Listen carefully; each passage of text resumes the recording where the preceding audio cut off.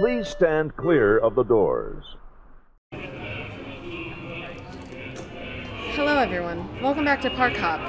The latest merch for Halloween Horror Nights 2023 has dropped, so we're gonna look at it. First off is this cup.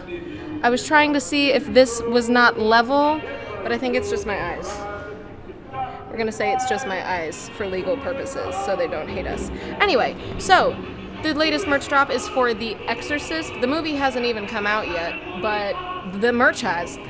Um, so we have the house with the two best friends that are kind of standing very shining style, if you ask me, at the front of the door. It says, We shall fear no evil. And then on the back, you have Halloween Horror Nights 2023 classic.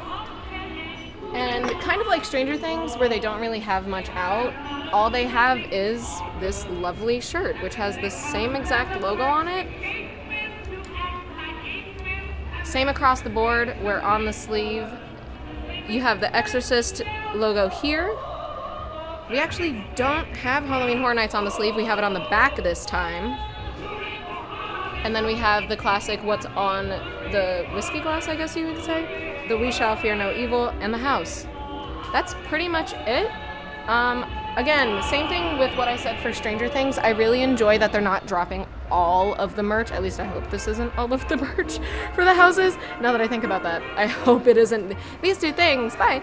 Um, but I'm excited to see what else they come out with, especially all of the other houses that they finally announced. And don't you worry, we are going to get into those in the next video. So stay tuned. We got a lot of information coming to you. Thanks.